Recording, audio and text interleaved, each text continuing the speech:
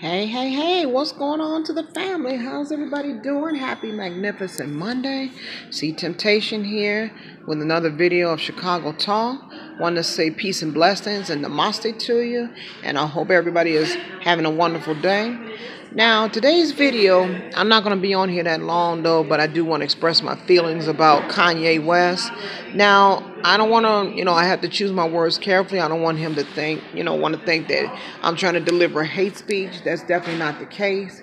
Not trying to deliver my hate speech, but I do want to put my input on this here. Only thing I got to say is I don't have anything against Kanye West you know, but he needs to be exceptionally careful, you know. And in a sense, he kind of disappointed me because when he had that meeting with Donald Trump and talking about free Larry Hoover, you know, Larry. I mean, let's let's be real. Larry Hoover is a criminal. I mean, that was the guy that once upon a time ran Black Gangster Disciples. So my thing is this you know, he's talking this mess about free Larry Hoover. Hell, he might as well, you know, talk about free Jeff Fort. I mean, but if you want to really get down and get real with it, though, I mean, you know, the person he should have been talking about was Bill Cosby. If you're talking about freeing somebody and standing on something, but the reality of the situation is Donald Trump don't give a flying floozy about Kanye West.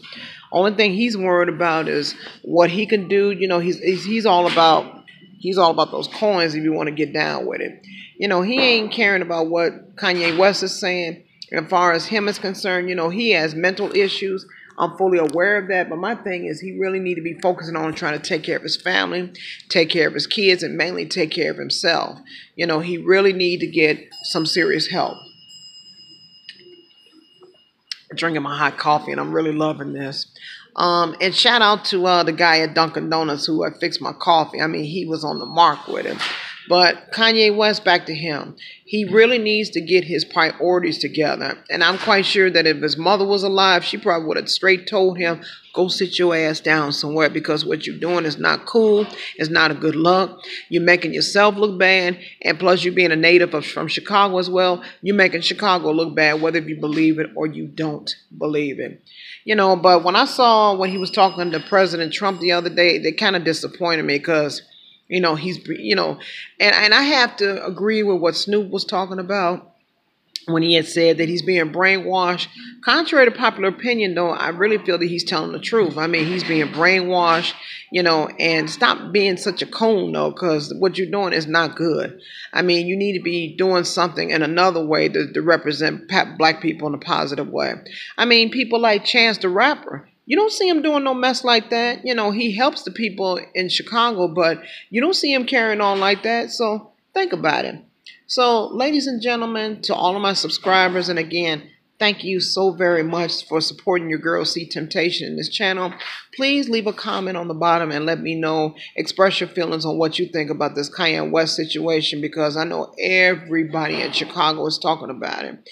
And it kind of saddens me because, you know, I know he knows better and he could do better. You know, and especially with him having some issues mentally, I mean, he really need to focus on trying to get some help.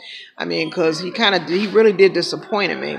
And plus, on top of that, he's coming out with new music and trying to mix that with politics. Those two things do not mix at all. You know, and what he's doing, what, you know, trying to speak in front of the president of the United States, talking about freeing a criminal and doing six life sentences. Larry Hoover is not going anywhere, you know, and he's not even thinking on those guidelines in terms about freeing him. That's that's just not going to happen. You know, and I hate to say this though, and I know he's a brother, but they they they you know they don't think like that. And knowing they're talking about stepping to white supremacy to do something like that, that ain't going on. So, but yeah, please leave a comment and let me know what you think. Express your feelings. And the main thing I'm asking to, for you guys to do is to share and subscribe. Share and subscribe. Make sure you tell all your friends about me. Um, like I said, and make sure you hit the notification bell, you know, of new videos. Even though it's been kind of hard for me because me working every day, you know, and I be tired and then doing other things. It's just, it's hard though. But I'll try to do the best I can though. But I haven't gone anywhere. It's just, like I said, I haven't had a chance to do as many videos like I used to. So I'm going to go ahead and end this video. And as you guys already know, I'm going to say that I love you. I bless you. I have faith in you. And I realize the creator in each and every one of you. And until my next video, you know, because this was kind of heavy on my mind and I had to say this, you know, and I had to, you know, to present it to everybody, you know, in terms of my intake about the story. So I'm going to go ahead and drop this mic. Enjoy the rest of your Monday. Stay strong, stay positive, and always keep the Creator first and one love.